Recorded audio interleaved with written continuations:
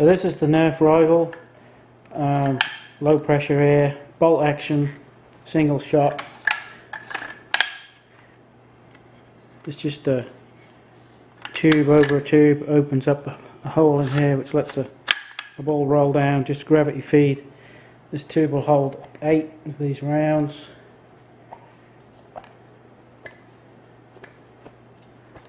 And I can see what's in there from these holes here. Just a gravity feed. That's 150 psi. It's quite powerful. They seem to ricochet all over the place.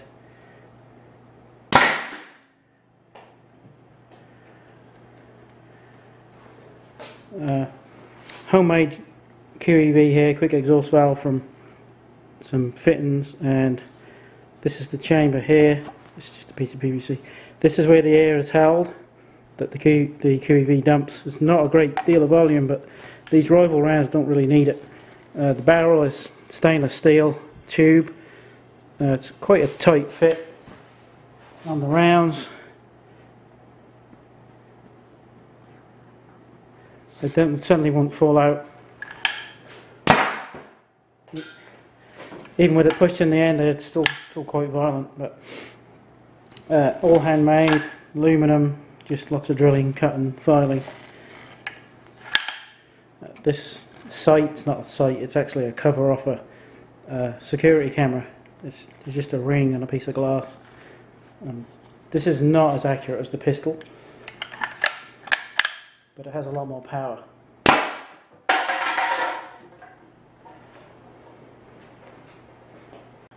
Okay, this magazine holds eight and it can be loaded at any time.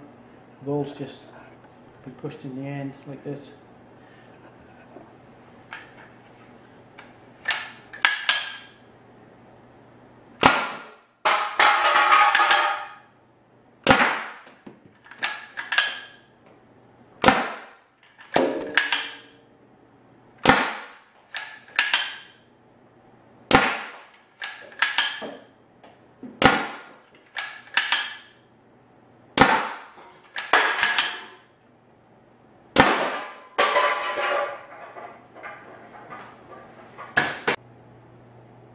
Okay, and here's eight at the targets.